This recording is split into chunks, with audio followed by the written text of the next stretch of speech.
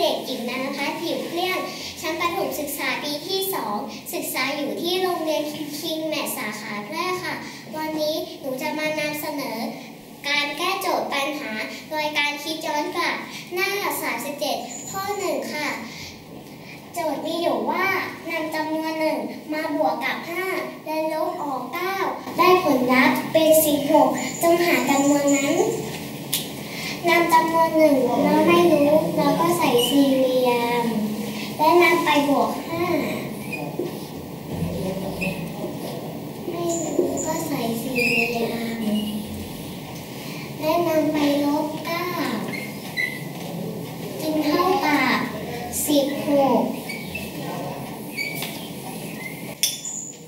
คิดย้อน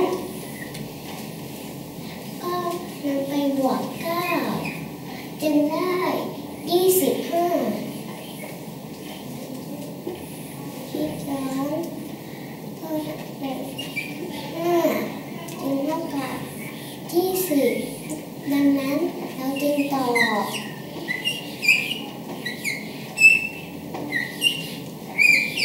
20ค่ะ ไม่ยาก